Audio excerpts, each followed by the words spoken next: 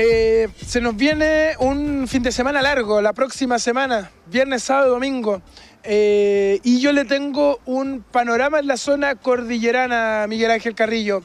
Eh, la invitación es para la fiesta del Piñón, que se va a desarrollar en Lonquimay el fin de semana largo de Semana Santa y que busca poder entregar una alternativa a las personas que van a elegir la Araucanía para descansar durante esos días, disfrutar de los distintos derivados que tiene el piñón. Se pueden hacer una enormidad de productos al respecto, pero es importante también para iniciar una eh, estación del año, que es el periodo de invierno y otoño, que es bastante provechoso para la región de la Araucanía en materia turística, especial para la zona cordillerana de nuestra región.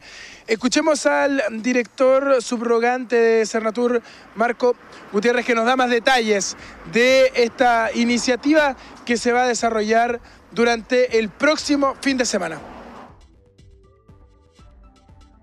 Así es, eh, hoy día tenemos la visita de, la, comunidad de Pehuenco.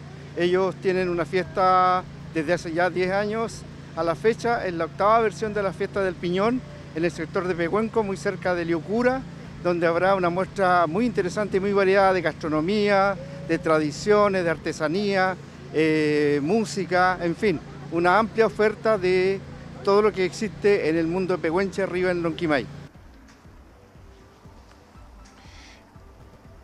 Es importante que eh, la gente se va a encontrar con distintos derivados del, piñón, desde dulce hasta cervezas, pasando por eh, gastronomía y distintas alternativas también de artesanía que van a poder encontrar durante esos días las personas que visiten eh, la zona cordillerana de la región de la Araucanía. Escuchemos ahora a uno de los organizadores de esta actividad que nos va a dar más detalles de lo que se va a encontrar la gente que llegue durante el próximo fin de semana hasta la zona cordillerana. Escuchemos a José Romero, que es uno de los organizadores de esta actividad.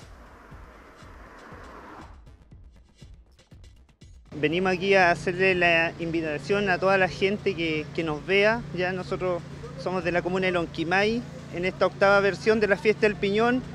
Bueno, tenemos variadas actividades, obviamente está todo lo que es la gastronomía con piñón, eh, que lo hace nuestra propia gente allá del territorio. Hay carrera a la chilena, hay música en vivo, jineteadas y un montón de actividades durante los tres días de Semana Santa para que la familia vaya a disfrutar, a pasarlo bien.